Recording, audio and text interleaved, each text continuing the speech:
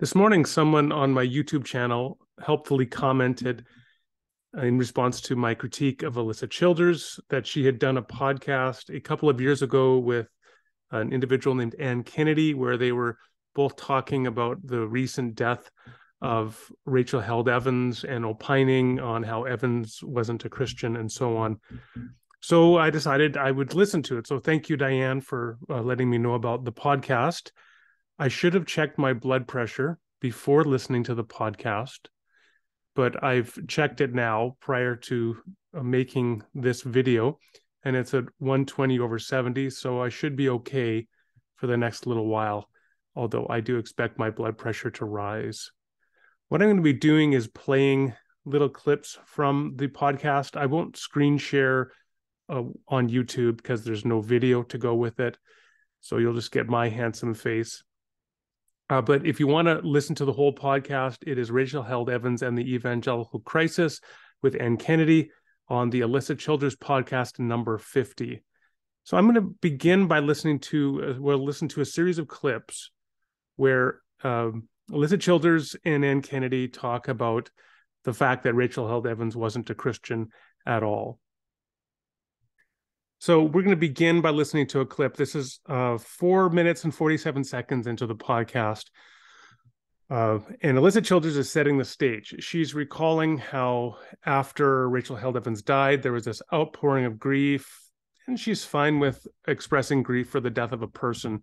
But immediately, Childers notes that what concerned her was that some of the people who acknowledged grief over Rachel Held Evans' death also seemed to be thinking that she was a Christian and this is very concerning to Alisa Childers.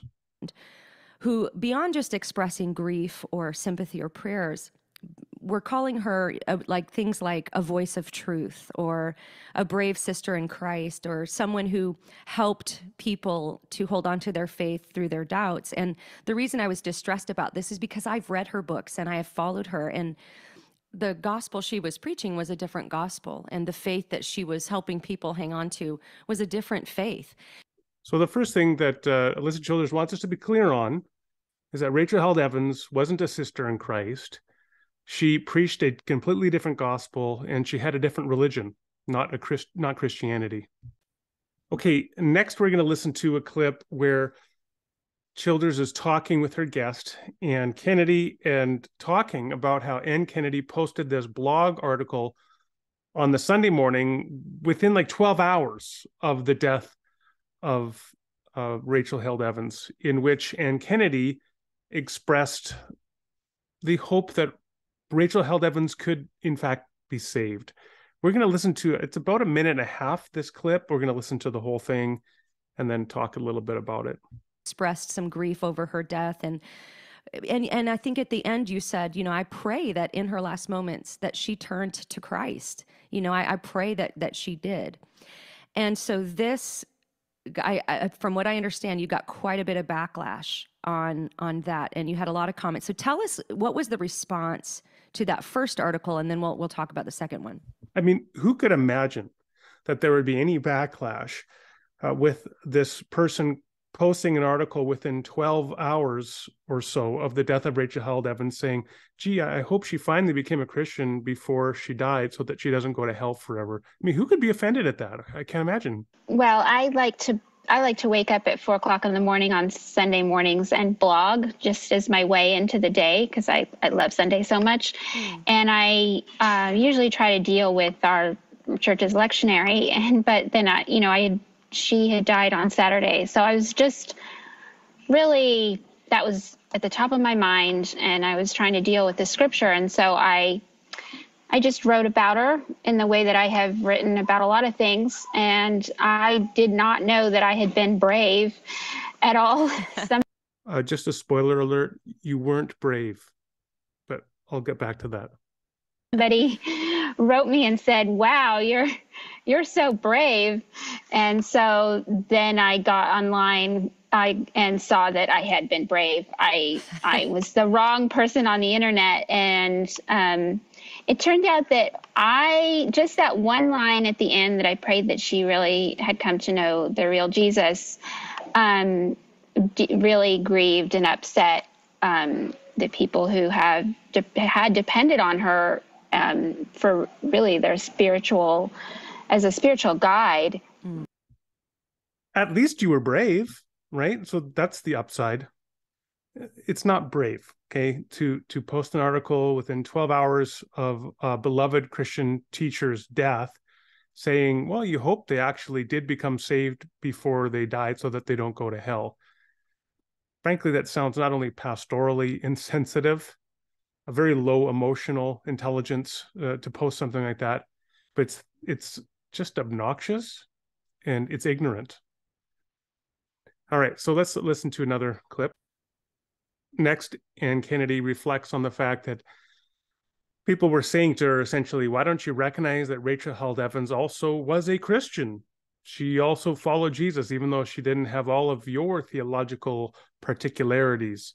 But she also was a Christian, and she also has a seat at the table as a Christian. And Kennedy wants to be very clear no, she does not. What I had said and was upset that um, you know, we're all at the same table, she wrote, and we may be sitting on different ends, but, you know, I should know that I'm at the same table and I should make room for um, for people on on that spec on that end of the spectrum. Yeah. So I felt like I should get back on and say, you know, why it is that we're not at the same table and what what our deep um, disagreements are and how they aren't just disagreements am- among friends who all basically believe the same thing. Now, much of the podcast is going to then go into some depth on why they can't be friends. And we're going to come back to that and why Rachel Held Evans is not at the same table as Alisa Childers and Anne Kennedy. We'll come back to that. But I want to follow through this theme by listening to just a couple more clips where they talk about how Rachel Held Evans wasn't a Christian and thus by implication she went to hell. Uh, we'll just listen to a couple more clips before we turn to looking at what they think the differences are. This next clip for me is frankly the most offensive and obnoxious exchange in the whole podcast. This occurs at 39 minutes, 48 seconds in, and go from there uh, Anne Kennedy here is talking about how the death of a, of a Christian, God's glory shines through it. But when a person dies who is not a Christian, it's clear that God's glory is not coming through in the same way. And that's the case with the death of Rachel Held Evans. Just listen to this clip. God emerges out of that. Um, you know, you can see God's glory in uh, a true Christian's death, yeah. um, and it's grievous, but it's um, it's strangely upbuilding for the church. Yes. Um, and that just you can see in the spiraling out that the sort of the opposite of that has happened. Yeah. So if you listen there to what she says, she says God's glory again comes through in the death of a real Christian. But if the person who dies is not a real Christian, then you don't get God's glory. You get a quote spiraling out, which is what she attributes to the emotional impact and fallout of the death of Rachel Held Evans. First of all, of course, there's no serious criteria being offered here of analysis. This is just Anne Kennedy's subjective impressions based upon the fact that she doesn't think Rachel Held Evans was a Christian. But the whole thing is so disgusting just to, to sit there and opine on the salvation and the Christian identity or non-Christian identity allegedly of of Rachel Held Evans and to to do this in the face of all the people who were mourning her death as if you're the self-appointed pope to decide who is and who is not a Christian. This is just conservative evangelicalism at its very worst. Now, the irony of, of so much of this is that when people like Alisa Childers and Anne Kennedy get blowback from this, then in their eyes, the blowback, the opposition, the offense that they have invited is in their minds interpreted as evidence that they are being persecuted as true believers. Here, I'll just play a little clip of that from uh, Alisa Childers. Okay, so this clip is at 11 minutes and 20 seconds into the podcast. Uh, Anne Kennedy is just recalling how a lot of people responded to her in a very mean way, and she had to delete their comments because they were offended that she said, Well, I really hope that she managed to find salvation before she died. And she's like, feels like now she's the target, unfairly being persecuted by progressive Christians. And then alisa Childers pipes in and says, Yeah, me too. I know what it's like to get attacked by progressive Christians. So here's the clip. I am no stranger to the progressive backlash. I had two or three articles that made their way around and received a lot of feedback that was per, a lot of personal attacks and and things like that. So I definitely relate with what you were going through in the. Okay, so here Childers talks about I've had all these personal attacks myself. Childers in her book, as I recorded in my last video, among the things she does, she says that again, progressive Christians are not Christians at all. Uh, they have another gospel. By implication, they're going to hell. And she imputes their motives, says that they are liars, that they're deceivers. She characterizes them as, uh, in one, I believe it's page 99 in her book. Again, I talk about this in my other video. She talks about progressive pastors as wolves disguised as sheep who just want to eat some juicy sheep steak.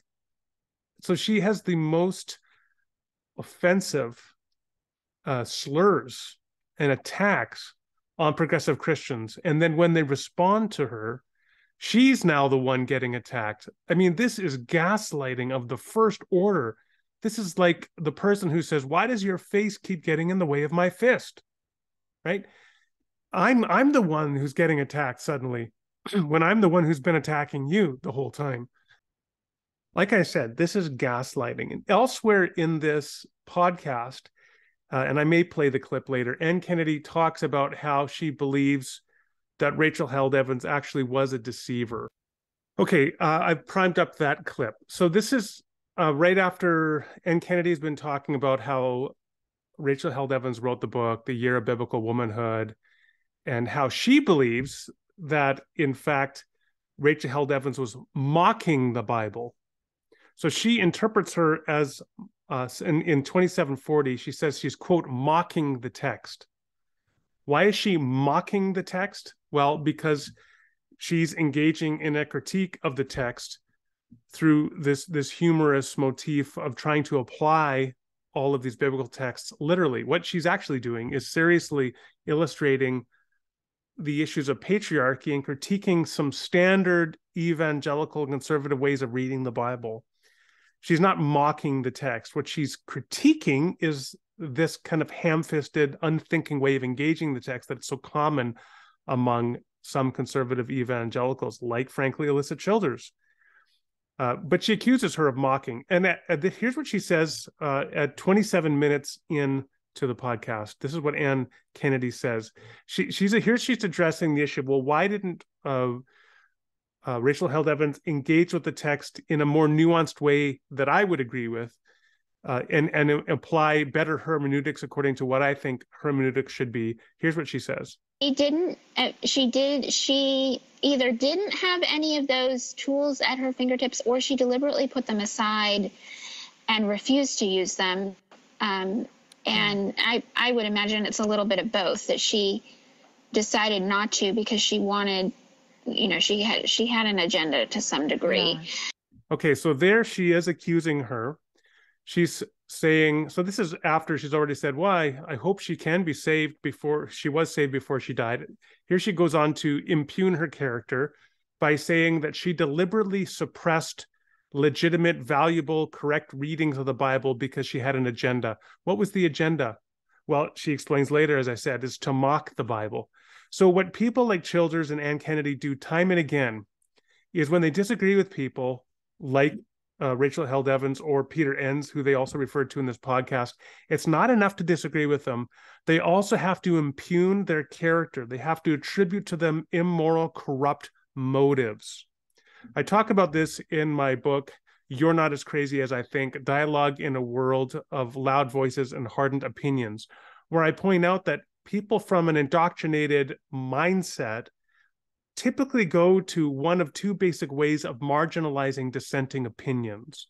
Either you say that that person is just flatly ignorant and that's why they don't agree with me, or you say they are immoral, they're evil, and that's why they don't agree with me. Or maybe you combine the two and say they're immoral and uh, ignorant. So, uh, in this case, what Anne Kennedy is doing is saying, well, why didn't uh, Rachel Held Evans approached the text the way I would? Well, it must be either both because she was ignorant of this proper way that I think exists to read the text, and also because she was malevolent or evil or wicked, that she wanted to subvert the text and later on to quote mock the text. And that's some examples of why she thinks and and uh, Alisa Childers think that Rachel Held Evans was not a Christian at all. She had these evil motives. So they benevolently hope that maybe she was saved right before she died because she clearly wasn't saved before that moment. Now, there's a lot more I could say about this podcast, but I just, rather than play any more clips, I'm just going to talk briefly about a few things. So, first of all, let's just go back to the fundamental thesis that Anne Kennedy and uh, Alisa Childers both assume, which is that Rachel Held Evans was not a Christian at all. She had another gospel, another religion, another Jesus. What justifies that? Did Rachel Held Evans reject the doctrine of the Trinity? No, they don't even talk about the doctrine of the Trinity. Did she reject the doctrine of incarnation? No, they don't talk about the doctrine of incarnation. Did she reject the doctrine of atonement? I can tell you, no, she did not ever reject the doctrine of atonement. But in their podcast, in this podcast interview, they say at one point that uh, people like Rachel Held Evans have a sort of um, progressive therapeutic deism, which implies that they've rejected the atonement, but she hasn't. That's clearly false and they have they provide no evidence that she rejected the atonement. Uh, so, what is the ground of disagreement? She doesn't reject the incarnation, the Trinity, the atonement. What is it? What it is ultimately is that she rejected their fundamentalist way of reading the Bible. Now, this, of course, is something on which I've written a book, Jesus Loves Canaanites. I've done dozens of videos and articles on it. I'm not going to get into it here, except to say that um, one thing so childers is so grossly ignorant here uh, she critiques rachel held evans and and and and kennedy they critique her for appealing to things like intuition moral intuition logic and reason as she reads and interprets the text of scripture uh, but what she is doing is no different than what is exactly called the wesleyan quadrilateral where that is what you do you draw upon reason, you draw upon tradition, you draw upon experience. And those all are part of the hermeneutical spiral of returning to the text and rereading the text. But it seems that Alisa Childers uh, and Anne Kennedy, by implication as well, are just so ignorant of theological method that they're not even aware of what Rachel Held Evans is doing. So instead, what they kind of suggest is a very naive biblicism that all you do is read the Bible for yourself and you don't have any external inputs to form how you read the text or form scripture coming out of the nexus of these other sources in interaction with scripture. At one point, when they're talking about the year of biblical womanhood, they critique Rachel Held Evans because she sat on the roof of her house because for for to to represent when she was being a quarrelsome wife uh, now they point out that, well, in fact, uh, the text in Proverbs says better for the husband to sit on the corner of the roof than to share a roof with a quarrelsome wife. But the main point that they make in critically responding to the fact that Rachel Held Evans did that in her book is that, well, that's not what the text of Proverbs means. It's not saying that literally a man should sit on the corner of his roof. And so they suggest that Rachel Held Evans is just engaging in bad hermeneutics by in her year of biblical womanhood sitting on the corner of her roof because they just she's misunderstanding what the text of proverbs is about. On the contrary i think the irony here is that it's anne kennedy and Alisa childers who have the ham-fisted hermeneutics and they don't understand apparently even in a most basic way what rachel held evans is doing. Her point is not that the proverbs should be interpreted literally and applied literally her point is to give a humorous and memorable illustration of constant patriarchal themes in scripture, including in the Proverbs. The Proverbs are consistently written in a patriarchal perspective. They never talk about a nagging husband or an abusive husband. What they're talking about is the nagging wife.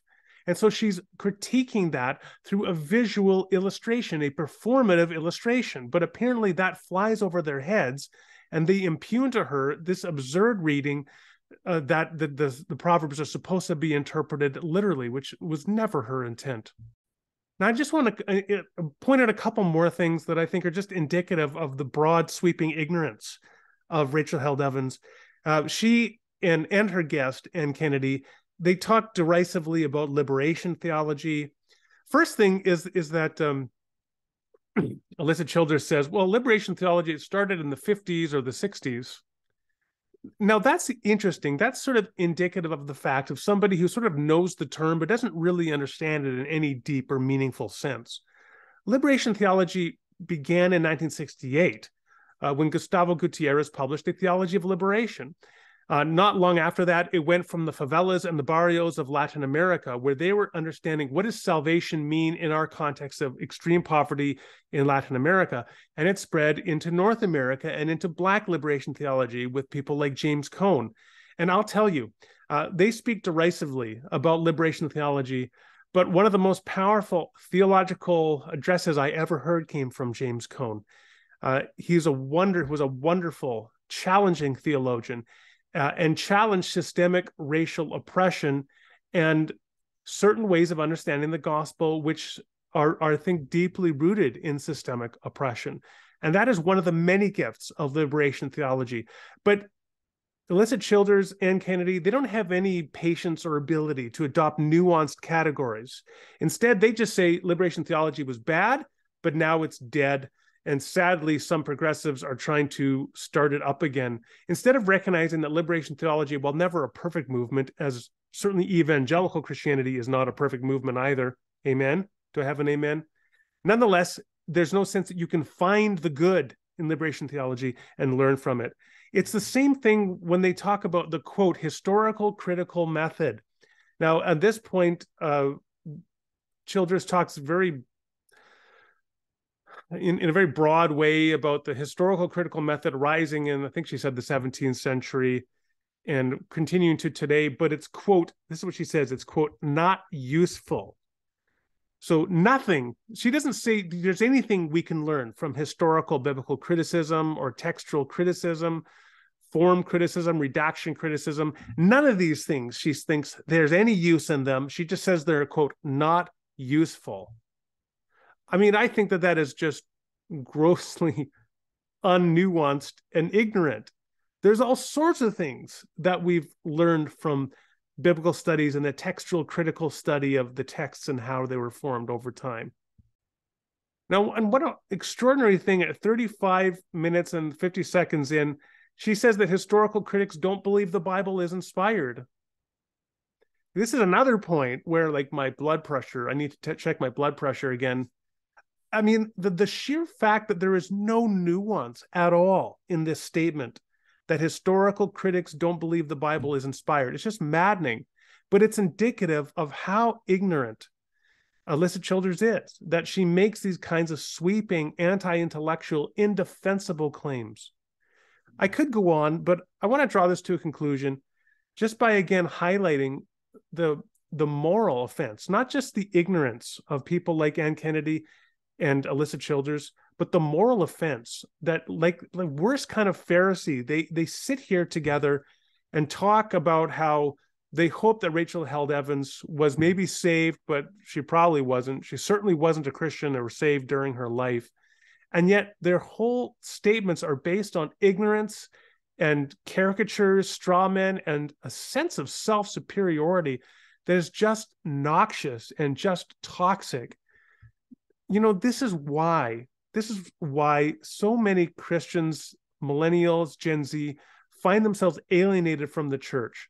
Because when they have questions and doubts and they're seeking theological nuance, they instead get batted down and their questions and doubts get free, reframed as subversive, immoral challenges to the gospel once for all delivered unto the saints. When in fact, what they are simply doing is moving from milk to solid food. That's what it is to grow theologically, spiritually, and intellectually. And Rachel Held Evans modeled that beautifully in her life, both with a devout character of de- desiring to follow Christ and in theologically and culturally challenging books. By contrast, I think that what Alisa Childers offers is a theological and moral desert.